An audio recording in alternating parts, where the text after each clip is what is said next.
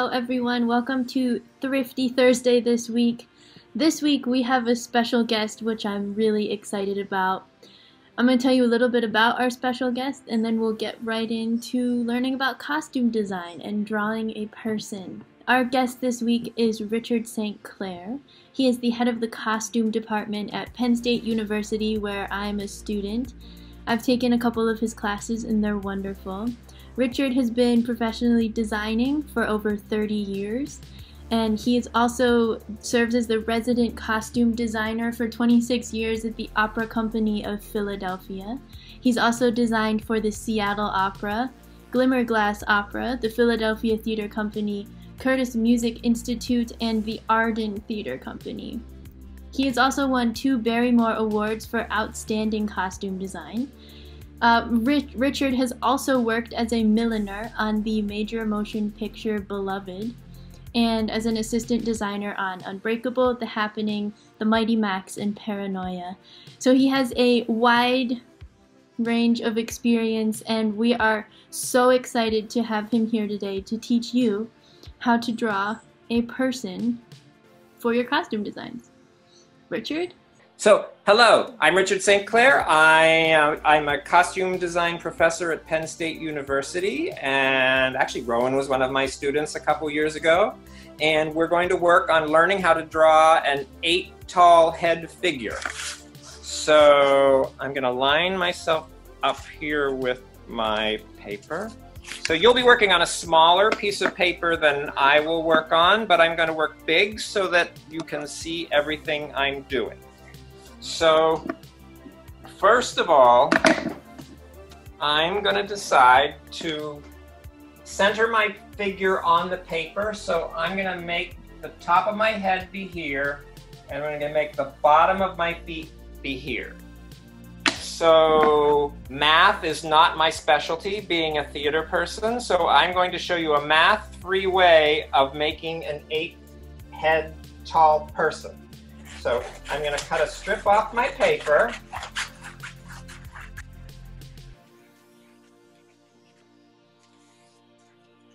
So I have a strip of paper and I'm going to make it be exactly the length. So this is going to be the height of my person. So without using math, I'm going to fold my paper in half. Now I have two heads. I'm going to fold it again into quarters. Now I have four heads. And if I fold it again, I've folded my paper magically into eight sections. Everybody following along so far?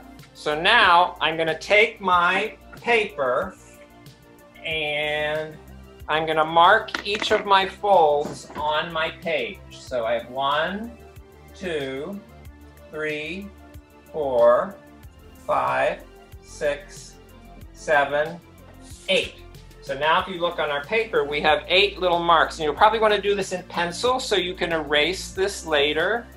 And so what does this all mean when we get down to this? So this is the top of the head, right? So this first mark is the chin. This next mark is the chest. This next mark is the waist. This next mark is the bottom of the pelvis. This next mark is the thigh. This next mark is your knee. This next mark is your calf. And the next mark is the floor. So that's my eight, my eight heads marked out on the page. So I've made a worksheet here. So here's my worksheet. What I'm going to do is I'm going to start drawing in red and then go back in. I'm going to draw the figure in red and then I'll draw clothes on the figure in black so that you can see what we're doing. So we're going to start with a nice oval shape here for the person's head. And on the side, you might even want to do a little practice till you like have a beautiful oval shape down. Because like you don't want to do a shape that's like bigger at the bottom because that doesn't look like a head. You want actually you, you almost want to draw like a perfect egg shape to make this head. This one's the best one so far. So here's my beautiful oval shape. So now I'm going to draw down a little bit into the next block and I'm going to draw my shoulders, right? So here's my shoulder line.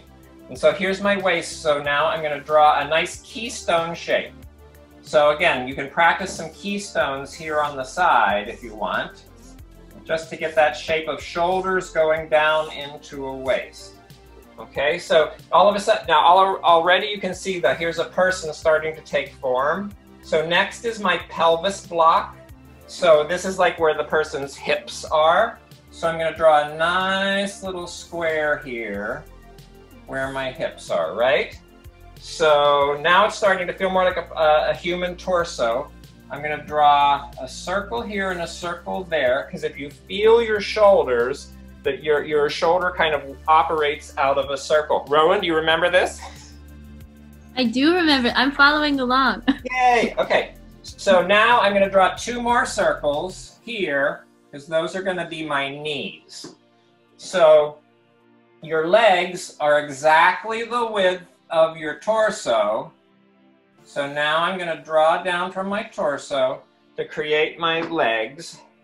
And now I'm going to draw two triangles here on the floor because they're going to become my feet. This person's kind of standing like Mary Poppins with their feet to the side.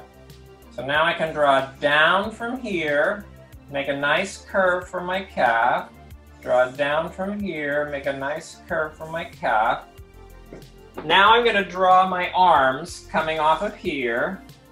We're going to keep this fairly simple.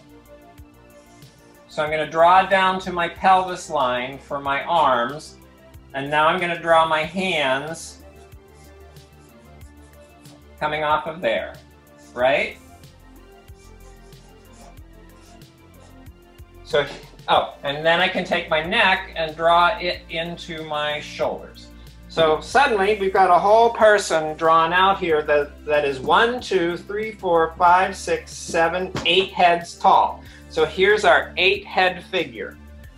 So now I'm going to switch to black. So we're going to put some clothes on this person. So let's put this person in a nice polo shirt.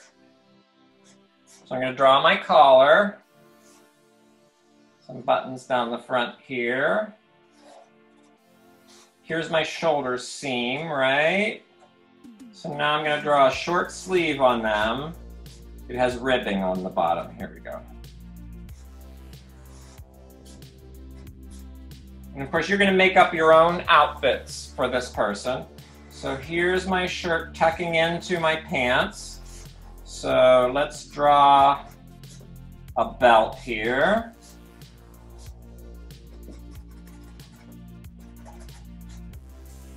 So here I'm going to draw a little fly, and here are my jeans pockets coming off of here. So now I'm going to draw my pants outside of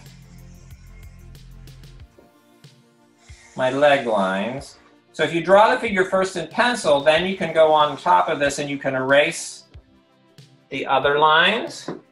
So Next time we'll do faces. So let's draw some hair in.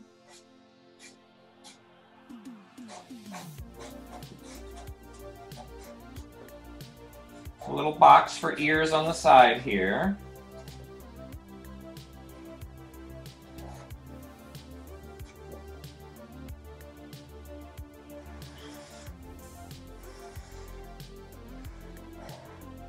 I can refine my shapes as I go around.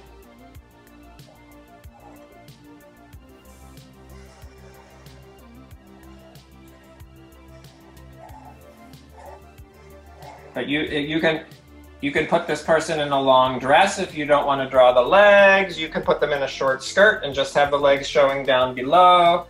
Let's put them in a nice simple sneaker.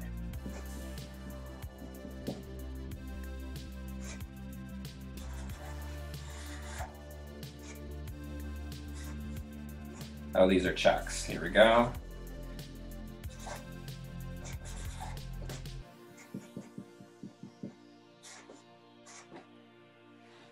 And there you have our basic eight head tall figure in about five minutes.